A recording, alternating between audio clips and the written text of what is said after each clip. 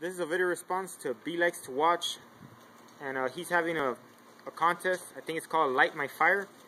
And in this contest, he wants to know um, if you were stuck in a cabin and you only had one match left, and you had a like a, a chimney, a, a wooden stove, or a wood stove, a, a, like a kerosene lamp or an oil lamp, and a candle, which one would you light first and why? Now, uh, I think I'm gonna just go for the easiest bet. I think always uh, candles are easy to light, and I figure once I light my candle, I can just go ahead and light everything else. Just move, just move uh, the flame to every other part of the house and light the rest of the stuff up. And uh, that's pretty much it right there. So, and he also wants to wants to see us light a fire. And uh, in case you guys don't are wondering, this is a piece of dryer lint and I keep this in my uh, bug out bag because it's so flammable. And you can easily light it. So here's the fire. And there's the fire I lit.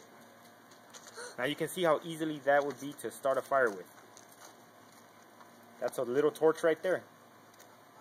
So if I had that in my pocket I could have easily lit the fire also. But uh, thanks to Bees Likes to Watch for having this cool contest he's having a a real good turnout. I think a lot of people already entered his contest, so uh, if you guys haven't gone and checked out his channel, go check it out. And uh, that's it for now. Alright, here's second attempt at uh, making the fire with, with the magnesium shavings and the fire, uh, fire stick. Let's see, I put, I put a lot more uh, magnesium shavings on top of my uh, tinder. Let's see if it works this time. There we go. Now it was now it was a success. So all you all you need to do is just put enough uh, magnesium shaves on top of your tinder and it'll work. But I still rather go with the dry, dryer lint. That's a lot quicker and uh, it's free. You never need to buy more. So that's it for now.